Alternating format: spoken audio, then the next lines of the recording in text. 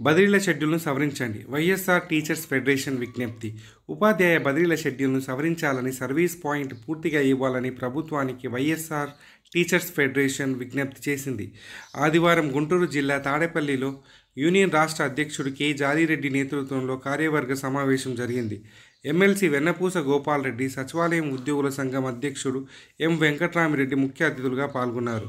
MLC Gopala Reddy మాట్లాడుతూ మార్చిలో YSR teacher federation ఆధ్వర్యంలో ఐదు వేల మంది కార్యకర్తలతో మహాసభ నిర్వహించాలని దానికోసం ప్రతి జిల్లా సభ్యులు కృషి చేయాలని సూచించారు. రాష్ట్ర ప్రధాన కార్యదర్శి జి సుధీర్ మాట్లాడుతూ ఉపాధ్యాయ సమస్యలను పరిష్కారానికి వైఎస్ఆర్ టీచర్స్ ఫెడరేషన్ ఎనలేని కృషి చేస్తుందన్నారు.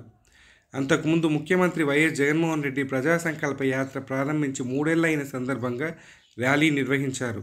కార్యక్రమంలో గౌరవ అధ్యక్షుడు ఎస్వి సత్యనారాయణ రాష్ట్ర వర్కింగ్ ప్రెసిడెంట్ అశోక్ కుమార్ రెడ్డి నాయకులు డి వెంకటేశ్వర్లు ఎం కమలాకర్ తదితరులు పాల్గొన్నారు. రేపు ఏపీ ఎన్జిఓ వెబ్సైట్ ప్రారంభం. ఉద్యోగుల న్యాయమైన డిమాండ్ పరిష్కరించాలి ఎన్జిఓ అధ్యక్షుడు రాష్ట్ర ప్రభుత్వ ఉద్యోగుల న్యాయమైన సమస్యలను ప్రభుత్వం పరిష్కరించాలని ఏపీ ఎన్జిఓ రాష్ట్ర అధ్యక్ష ప్రధాన కార్యదర్శులు ఎన్ చంద్రశేఖర్ రెడ్డి బండి శ్రీనివాసరావు విజ్ఞప్తి చేశారు. విజయవాడ ఏపీ ఎన్జిఓ సంఘం కార్యాలయంలో ఆదివారం వారు మీడియాతో మాట్లాడారు. రాష్ట్ర ప్రభుత్వ ఉద్యోగులు ఎప్పటి నుంచో ఎదురు చూస్తున్న పదకొండవ పిఆర్సీని వెంటనే అమలు చేయాలని బకాయి ఉన్న మూడు విడతల డిఏను చెల్లించాలని సిపిఎస్ రద్దుపై సీఎం వైఎస్ జగన్ ఇచ్చిన హామీని నిలబెట్టుకోవాలని కాంట్రాక్ట్ ఉద్యోగులను క్రమబద్ధీకరించాలని మహిళా ఉద్యోగులకు ఐదు రోజుల ప్రత్యేక క్యాజువల్ లీవ్లు మంజూరు చే వంటి సమస్యల పరిష్కారంపై ప్రభుత్వం నిర్ణయం తీసుకోవాలన్నారు.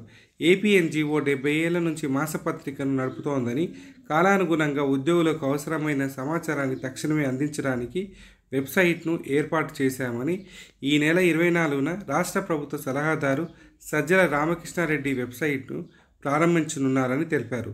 రాష్ట్ర స్థాయి వరకు ఉద్యోగ సంఘాల సమాచారాన్ని పొందుపరుస్తున్నామని వివరించారు. నేటి నుంచి అంగన్వాడీ కార్యకర్తలకు శిక్షణ నేటి నుంచి పది రోజుల పాటు అంగన్వాడీ కార్యకర్తలకు శిక్షణ ఇవ్వనున్నామని మహిళా శిశు సంక్షేమ అభివృద్ధి శాఖ కమిషనర్ కృతికా శుక్లా తెలిపారు.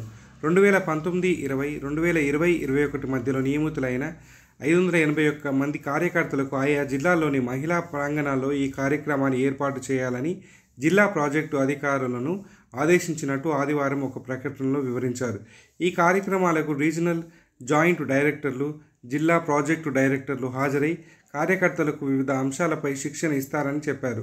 ప్రధానంగా మహిళా శిశు సంక్షేమ శాఖ లక్ష్యాలు సేవలు మహిళలు పిల్లల్లోని పోషకాహార స్థితిగతులు రక్తహీనత ఆరోగ్యం పథకాలు సమర్థంగా అమలు చేసేందుకు ఇతర శాఖలతో సమన్వయం వైఎస్ఆర్ సంపూర్ణ పోషణ సంపూర్ణ పోషణ ప్లస్ పథకాల ప్రాధాన్యం వృద్ధాశ్రమాలు తదితర అంశాలపై కార్యకర్తలకు శిక్షణ ఇవ్వనున్నామని మిగిలిన వారికి శిక్షణ ఇచ్చే తేదీలను తర్వాత ప్రకటిస్తామని చెప్పారు.